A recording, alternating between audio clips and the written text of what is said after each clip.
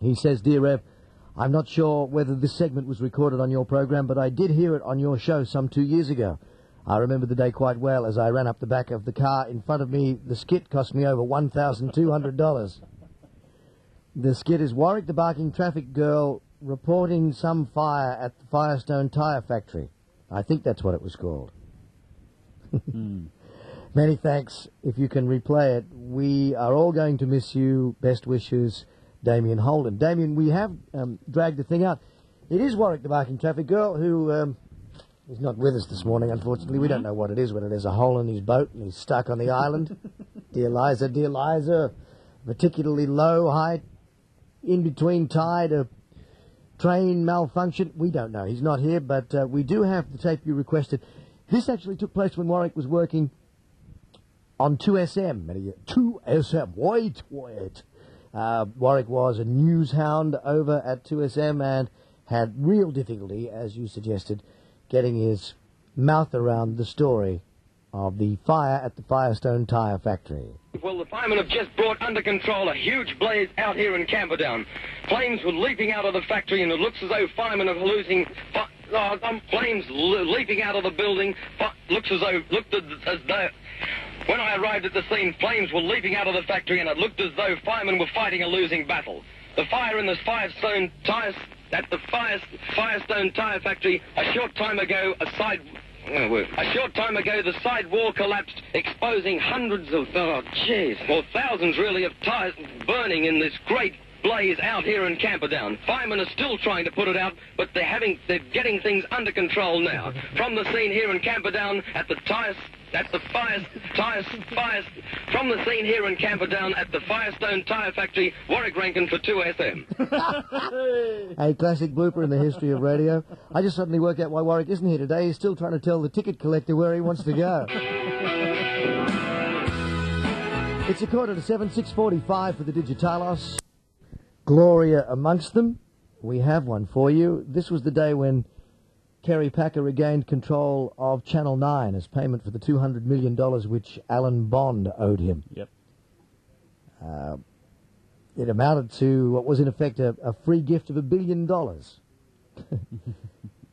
As I was saying, the only disadvantages for Kerry were inheriting a lot of bad will and, and getting stuck with Sam Chisholm's lunch bill. Gloria. About Kerry. On Triple M some years ago and once again today, by request. Hello, Doug Mulray, Triple M. And a good thing too. Hello, Doug. It's Gloria. Oh, yes, Gloria, good morning. You're happy about Mr. Packer taking control, are you? Yes, I, I certainly am. I'm a big admirer of Kerry Packer, you know. Always have been. I knew his father. Oh, the, the legendary Sir Frank Packer, founder of the Empire. Uh, Yeah. There was a man. There was a man, Doug. Fine, cut of a man. You know, I probably haven't mentioned this before, but many years ago I worked for Sir Frank. Oh. I was an office boy at Consolidated Press. And one of my jobs was to go out and buy Sir Frank's lunch. And every day it was always the same. Yeah, what did he have? uh, chicken pie with sauce and a flagon of McWilliams semi-sweet sherry.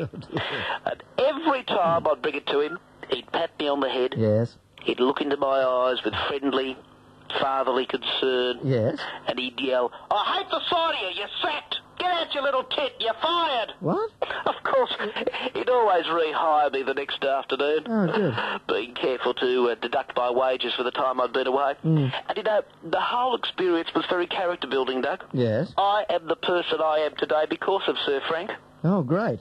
Yeah, what's this got to do with Kerry Packer, then? Well, well, it's funny you should mention that. Hmm, I thought it would be. Yes, because I met young Kerry a number of times in those days. Yes. Because he wasn't as confident then as he is now. No? Very shy. Oh.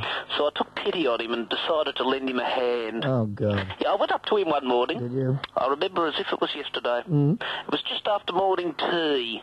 We were both in the junior employees' toilet, standing at the urinal. Oh, God. Yeah, well, I, I shook his hand warmly, Yes. gave him a firm grip, you know, Mm. to inspire confidence. Yes. And I said to him, Kerry, Mm. I said, Kerry, Yeah. I've got a girl's name too. You shouldn't laugh. I shouldn't, I didn't mean. What did you say? I said, my name's Gloria. Yes. Why don't you and I shoot the breeze over a Dubonnet lemonade or two? And what was his reaction, Gloria? I tell you, I'm laughing Yes. because I can't. I can never be sure, Doug. Yeah. Because everything went black. Everything went black, yeah. I woke up in hospital Did you? few weeks later. Gloria? It was terrible. It was awful. I must have had one of my turns. Yes. I must have slipped on the tiles and accidentally broken every bone in my body. Gloria? yes. Au revoir. No, it's from the French. Yeah, meaning goodbye.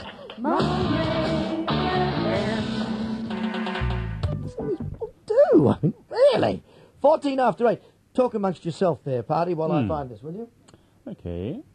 Uh, Shatner has been requested by Lisa and Greg and Dave Martin and uh, the Wentworth Post Office boys. Oh, the Wentworthville post office boys who went riding with Reds the other Hmm, The day. Ku Klux Klan, yes. Okay.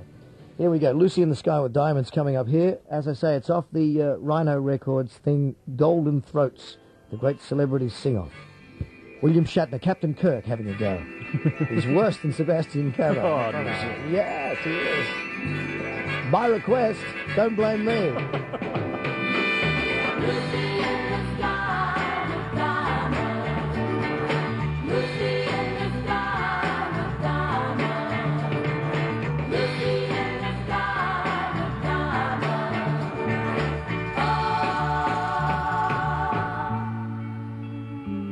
Picture yourself in a boat on a river with tangerine trees and marmalade skies.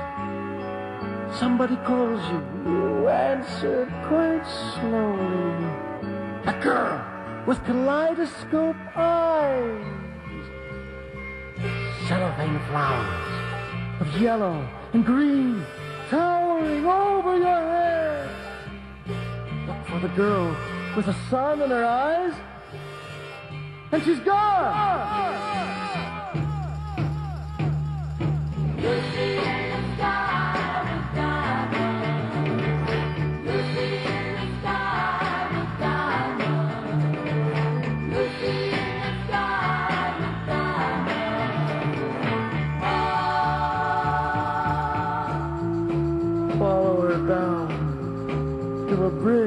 By a fountain where rocking horse people eat marshmallow pies. Everyone smiles as you drift past the flowers that grow so incredibly high. Newspaper taxis appear on the shore, waiting to take you away. Climb in the back with your head in the clouds, and you're gone! Dear, that's life, Jim, uh, but not as we know it. 16 after 8, by request, William Shatner. And his butchering of Lucy in the Sky with Diamonds. No wonder we dropped the schlock spot. How completely and utterly untrue! Well. And it's merely a coincidence that I've suddenly decided not to tell you the story of Dykes on Bikes meets Sister Tiffany of Perpetual Sucker. Instead, uh, we'll have a, an all-male version of Robin Hood. Huh? Hello. Hello, Robin. Yeah, how you going? Once upon a merry time in merry oldie Manhattan, there lived a band of merry outlaws called the Merry Men. Hello. Hello. Hello. Who did that? Somebody was off pitch. Was me. Was me. Actually, we're not the Merry Men anymore. We've changed it to the Gay Guys. it's got a nice ring to it. Oh, what a giveaway. Yes, the Gay Guys were fearlessly led by their fearless leader, Robin Hood. Hello again. Yes, hello again. And together they led a merry, gay life in Sherwood Forest. And where's that? Wouldn't you like to know? I sure would. Get it? Sure would. Sure would. Yes, Sherwood. Sherwood Forest was near a village called Greenwich, and the people there were living in a time when everyone was mean. Must be uh, Greenwich Mean Time, huh? Uh, Robin Hood. I said hello already. Yes, and his gay guys. Hello already. I just said that. Gay, yes, led a merry, gay, uh, gay life, stealing from the rich and giving to the poor. All right, here we go, guys. Where? Now, I mean, here we go, as in get ready. Here comes a fat merchant. Oh. Uh, and uh, what ho, Sirrah? What are you, some kind of wise guy? No, that's how we talk in these days of yore. Things of... Yeah. Yeah, days of yore, like oh, in the olden Ah, times. well, yeah. um, let me try this. Uh, verily, good fellow. How am I doing? That's pretty good. Now, may I be of some medieval service to you? That's even better. Uh, prithee, uh, tell me, are you, pray tell, rich? Uh, does Chaucer do fart jokes? I'll take that as a yes. May I uh, further trespass upon your valuable time and ask, uh, have you seen the bailiff, the sheriff, or the king's cavalry anywhere nearby? As we fat merchants, I want to say, in days of yore, nah. Okay, in that case, uh, as we outlaws say, stick 'em up. In your wallet and your watch. Uh, you got any credit cards? Uh, Nottingham Express? Oh, that'll do nicely. Yeah. Here we go, men. Where? I mean, here we go, as in we have robbed from the rich, get it? And now we can give our loot to the poor. Oh! Yeah! Uh, excuse me, you Robin. Yeah, what do you want? Uh, I am now poor. Yeah. So, uh, you could give me the loot, couldn't you? Well, geez, ooh, how convenient. There you go. Where? Oh, I meant like there you go, as in here, have this loot. Oh. Ah, thanks. Uh, what's medieval for, uh, I'm out of here? Uh, I think it's uh, gadzooks. Well, gadzooks, I'm out of here.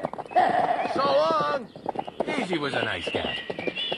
Uh, Robin, uh, Yeah? the gay guys and I are unhappy about a few things. Ah. Firstly, uh, the way we see it, obviously this is open to a variety of interpretations. Yeah. Uh, basically, as it appears to us, each Yeah. and every day, uh, we seem to roam the forest taking money away from fat merchants Yeah, that's your job. and then giving it back to them. Yeah, that's uh, that's right. Then secondly, you're always saying, here we go and Yeah. there we go, Yeah. but we never go anywhere anymore, do we? We never go anywhere. The guys and I think you're ashamed to be seen with us amongst your hoity-toity outlaw friends. Yeah, that's right. And thirdly, what sort of fairy tale is it without lesbian terrorists and rampant nymphomaniac nuns? Huh? Yeah, that's right. Uh, well, Mr. Narrator? Well, you're right. Um, you see, uh, uh, just then, into Sherwood Forest rode Dykes on Bikes and Sister Tiffany of Perpetual Sucker. There you go. All right! Well, guys, there you go. Where? Ah, for the love of Mike. Here's mine. Fine, we'll take it home.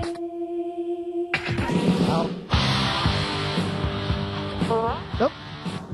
Uh, this one, though, is a, a particular favourite. You're miles from anywhere. You've got a map and a compass. You've got 30 soldiers under your command. Oh, I should be so lucky, lucky, lucky, lucky. I should be so lucky in love. Come on, soldiers, one and all. I should be so lucky, lucky, lucky, lucky. I should be so lucky in love. You're an officer in the Kylie Reserve. In my imagination, there's no infatuation. Da, da, da. The Kylie Reserve is part-time, prime-time, and mostly out of time. Your duty to back up our regular Kylie when resources are stretched to breaking. Wherever there are too many notes to hold, too many logies to carry at once, or an interviewer demands an answer with more than one word. Between special missions, you support the regular Kylie in patrolling our north coast against alien disco, quelling incursions of Mel and Kim. Samantha Fox. And the Red Peril, the Communards. Have a clever manager achieve something for you. Become an officer in the Kylie Reserve.